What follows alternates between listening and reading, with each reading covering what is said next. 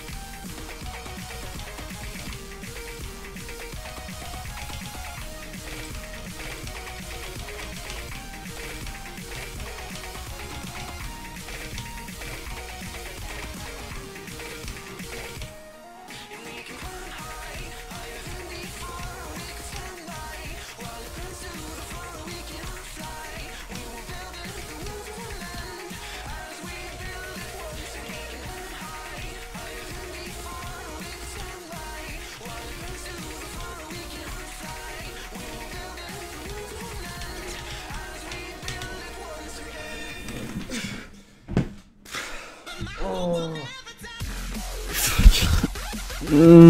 Mm.